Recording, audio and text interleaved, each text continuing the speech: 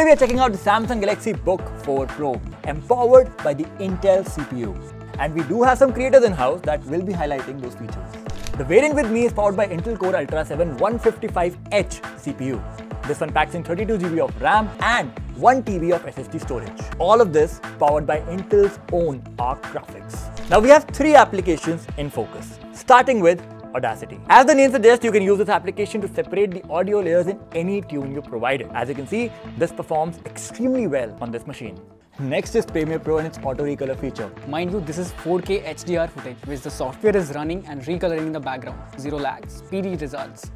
Next is GIMP with Jovin, checked out. It is a free image AI editing tool. All you have to do is put in your prompt, load the OpenVINO plugins and voila! And the general specifications of this variant are on your screen. For more informative content, follow Business Insider India.